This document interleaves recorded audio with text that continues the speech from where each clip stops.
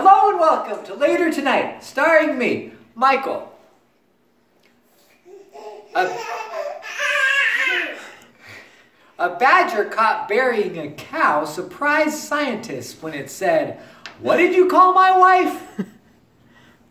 The shoe chain Payless has filed for bankruptcy protection after its infamous Wear Shoes on Your Hands campaign ended up working too well.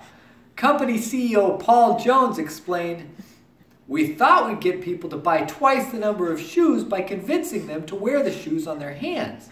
But instead, people started wearing shoes just on their hands. But you don't walk on your hands, and so they never got worn down or dirty. So the customers never needed to replace them. Our new campaign should fix everything. Shoes, they're good to eat. Boeing announced that it's going to start selling jetliners to Iran.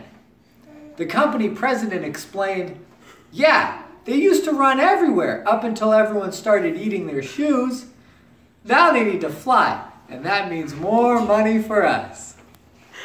Well, uh, April is the season of making friends. And so I wanted to help all of you guys make more friends. So I called my friend, Freddy Weddy, who's amazing at making friends, and I asked him to come in and teach us all how to make friends. Let me go get him. Hey, Freddy! So glad to see you again. I'm glad to see you. I think this is how I talk. Okay. Hi, everyone. I'm Freddy Weddy, and I'm here to teach you how to win friends. If you want to win some friends, listen to Freddy Weddy. I've got a lot of friends. So here's a list of ways to make friends. You could wear the same color shirt as somebody. Tinfoil isn't just for cooking. At the grocery store, fill your cart with everything you've ever wanted to buy.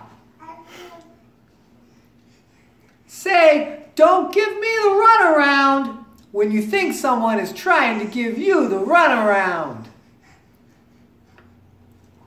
In all my days of going to Taco Bell, I've never ordered the bell. You can't have a laundry list of problems unless you've already done the laundry.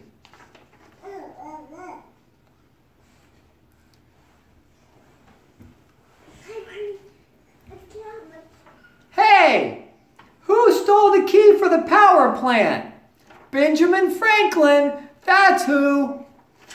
Well, that's it for Freddy Weddy. See you all tomorrow. Oh, wait. I think Michael was, well, okay, never mind. Bye.